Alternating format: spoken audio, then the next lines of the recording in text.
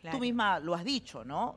Sí, o sea, yo sé que él, el que me debía respeto era él. Claro. El culpable de esto es él directamente. Porque a él se le pueden Y- acercar un montón de chicas, y se le se- pueden acercar por su cara, por su billetera o por lo, por lo que, sea, que se le acerquen, pero, pero, él el que tenía tiene que, poner un límite es él y yo siempre se lo dije.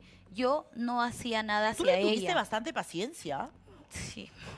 ¿De Por, como verdad? te digo, por la campaña él me decía muchas cosas y, me sostén, trataba de probar. con el sostén nomás ya debiste mandarlo a freír patatas. Es que ella, ella en las conversaciones con ella que él me mostraba, se trata, le decía, amiga, amiga, mira que esto, por favor, vas a afectar mi relación y cosas así.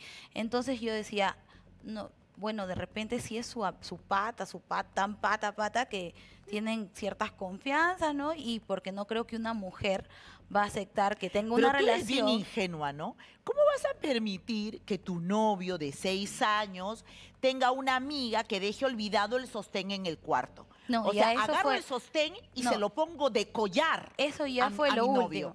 Eso fue lo que lo último Y ya los que voto a los dos porque se merecen tal para cual. Eso fue lo último que yo encuentro y el motivo por el que terminó la relación con él, porque le dije, ya no más, la próxima, ¿qué cosa quieres? Que te encuentre en la cama con ella para que me, me puedas probar de que sí estás con ella. Además, ¿por Y- qué una persona, de repente, porque hay mujeres así, ¿no? Al estilo como, a- como te digo que hacía Tilsa Lozano, ¿no? Que pueden dejar cosas para que justamente tú te enteres y causar que tú lo dejes a él.